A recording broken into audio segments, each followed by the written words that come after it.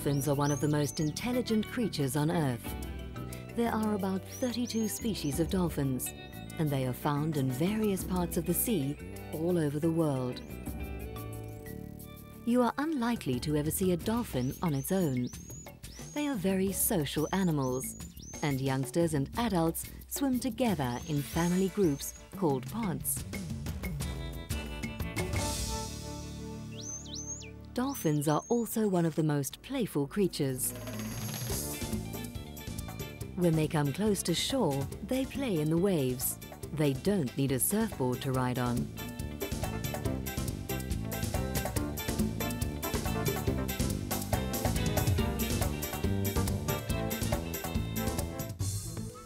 Dolphins are mammals, except that they can only live in water. Their body shape is adapted to perfection for a life of constant swimming. These dolphins are called bottlenose dolphins. They are also one of the most successful species of the ocean because they eat a wide variety of fish, crabs and shrimps.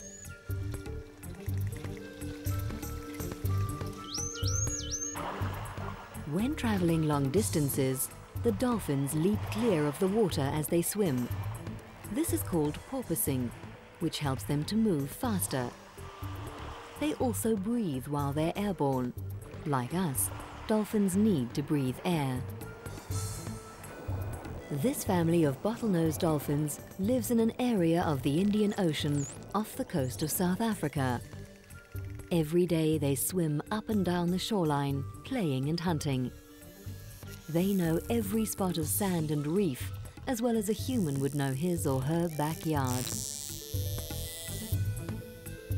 and they have their favorite places with the best type of sand for a good scratch.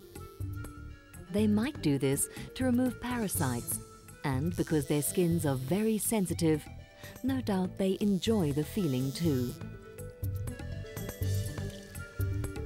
This morning, just like every morning, is resting time for the family.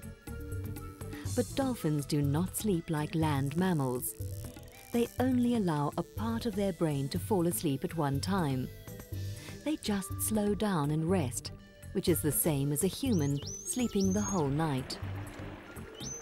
For the youngsters of this family, rest time might more accurately be described as playtime. Play involves chasing and biting gently, as well as investigating the world around them and the other inhabitants of the sea dolphins are almost as curious as humans. They learn from the adults how to chase and catch their food.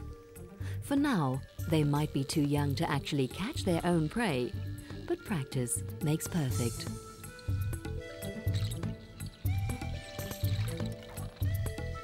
Often while swimming, family members touch each other.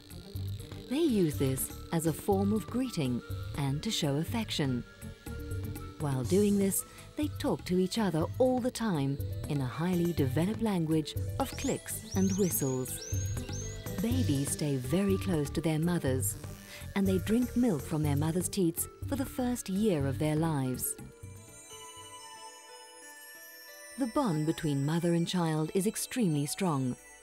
When a baby dies, it's a very sad time and it affects the whole family.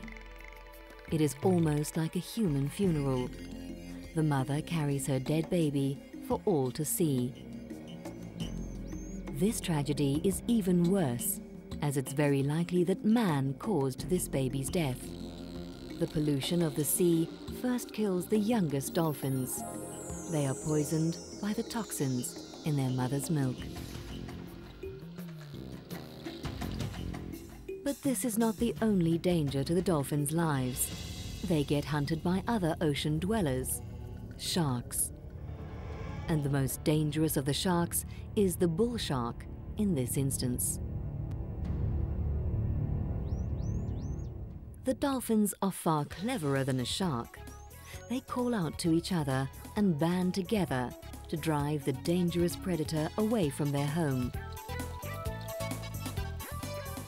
Safe for now, they return to what they like doing best, playing, swimming and talking. We can only wonder what they speak about Maybe one day humans will be able to understand the dolphin language, perhaps allowing them to find a solution to the dangers that threaten the dolphin's existence.